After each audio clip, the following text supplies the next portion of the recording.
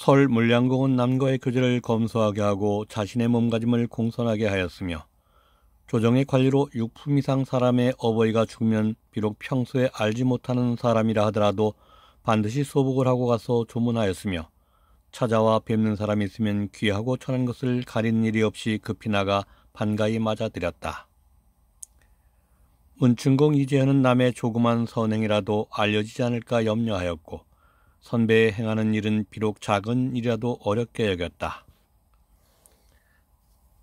한유아는 지리산에 숨어서 깨끗이 고조를 닦았으므로 세상에서는 그 풍치를 높이 숭배하였다. 고려왕은 그의 명망을 듣고 사절을 보내 맞으려 하였는데 그는 사양하며 말하기를 외신은 아무것도 아는 것이 없습니다. 하면서 곧 문을 닫고 나오지 않으므로 사자가 문을 밀고 안으로 들어가 보니 벽에 시 한 귀를 지어 써붙였는데 말하기를 한마디 임금의 분부가 이 골로 들어오는 것을 보니 비로소 내 이름자가 인간에 떨어진 것을 알겠구나.